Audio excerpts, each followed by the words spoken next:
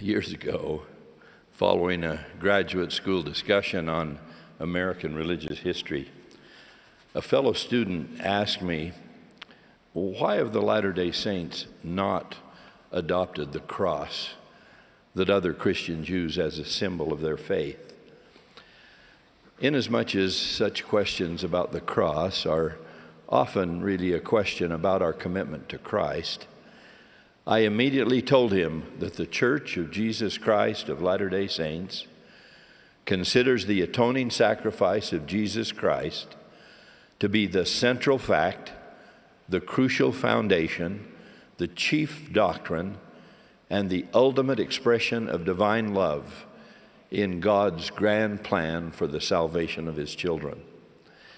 I explained that the saving grace inherent in that act was essential for and universally gifted to the entire human family, from Adam and Eve to the end of the world.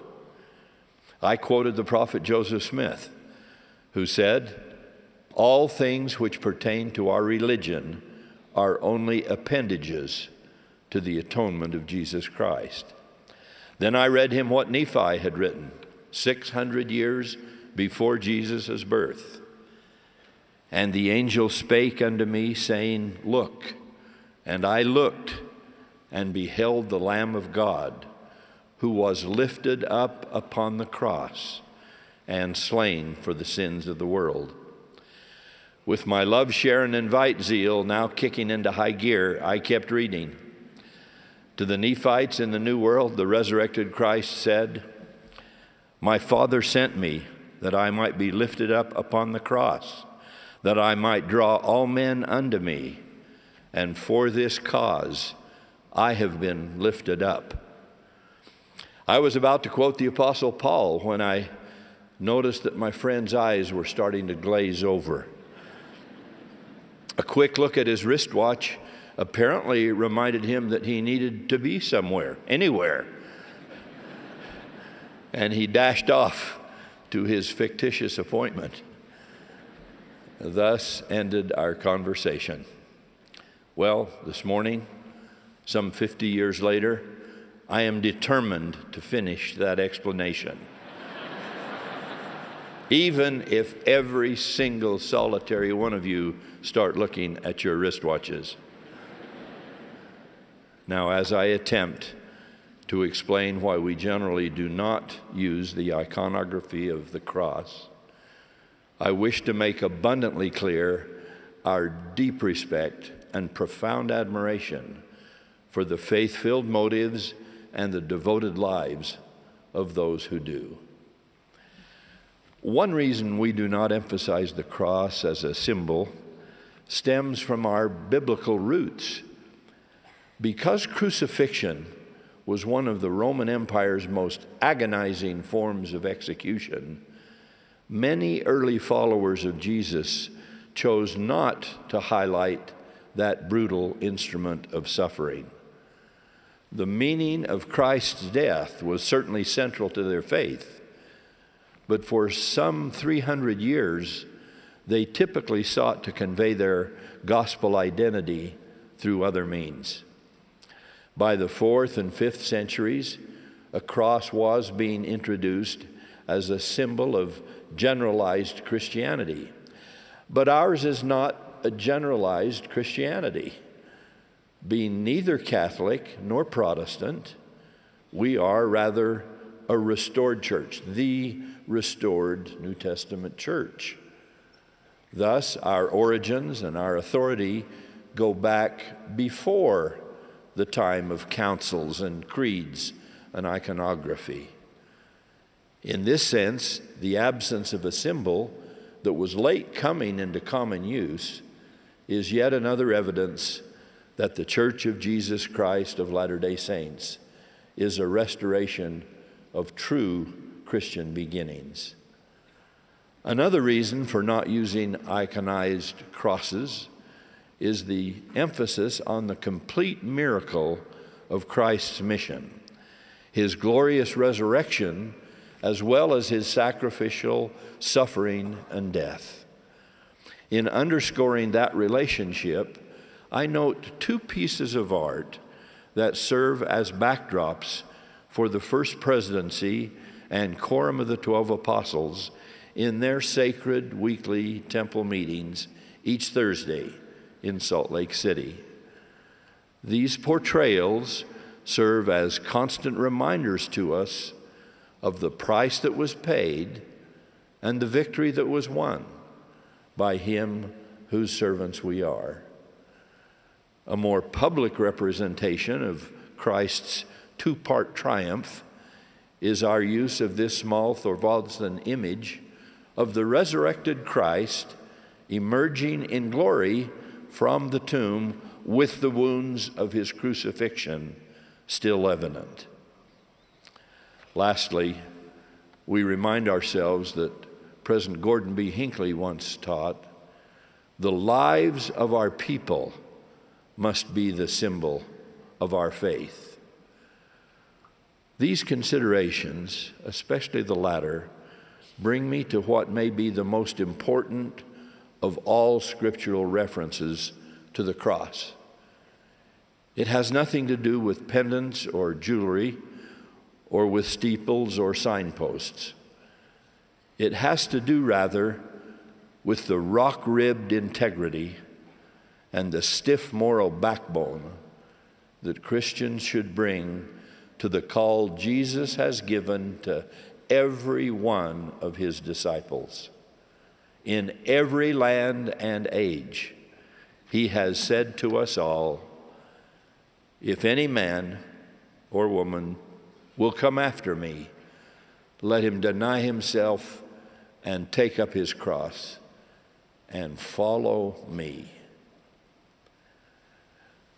This speaks of the crosses we bear rather than the ones we wear.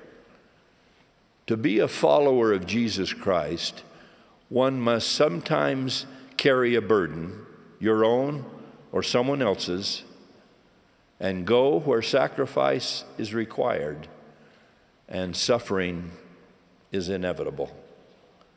A true Christian cannot follow the Master only in those matters with which he or she agrees. No, we follow him everywhere, including, if necessary, into arenas filled with tears and trouble, where sometimes we may stand very much alone. I know people in and out of the church who are following Christ just that faithfully.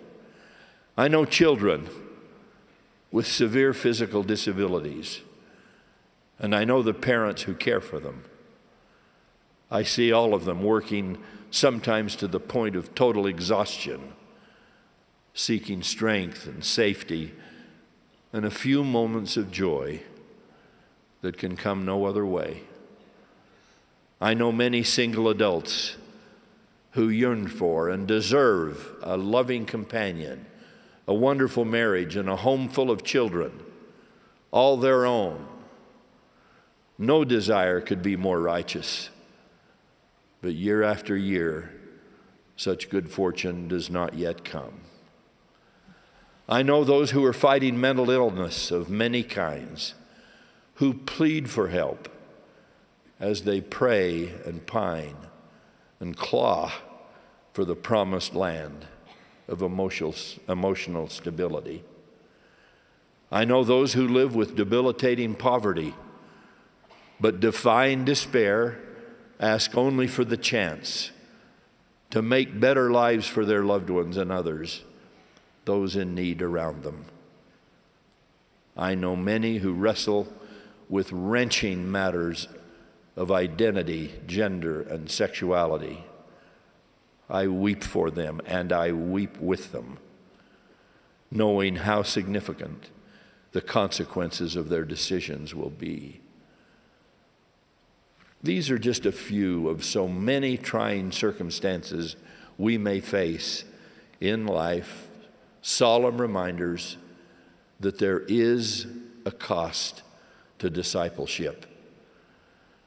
To Araunah, who attempted to give him free oxen and free wood for his burnt offering, King David said, Nay, but I will surely buy it of thee at a price. For I will not offer unto the Lord my God that which doth cost me nothing. So too say we all. As we take up our crosses and follow him, it would be tragic if indeed the weight of our challenges did not make us more empathetic and more attentive to the burdens being carried by others. It is one of the most powerful paradoxes of the crucifixion that the arms of the Savior were stretched wide open and then nailed there. Unwittingly, but accurately, portraying that every man, woman, and child in the entire human family is not only welcome, but invited into his redeeming, exalting embrace. As the glorious resurrection followed the agonizing crucifixion, so blessings of every kind are poured out on those who are willing as the Book of Mormon prophet Jacob says, to believe in Christ and view his death and suffer his cross. Sometimes these blessings come soon, sometimes they come later, but the marvelous conclusion to our personal Via Dolorosa is the promise from the Master himself that they do and will come. To obtain such blessings, may we follow him, unfailing, never faltering nor fleeing, never flinching at the task, not when our crosses may be heavy, and not when, for a time, the path may grow dark for your strength and your loyalty and your love. I give deep personal thanks this day. I bear apostolic witness of him who was lifted up and to the eternal blessings he bestows, even the Lord Jesus Christ. Amen.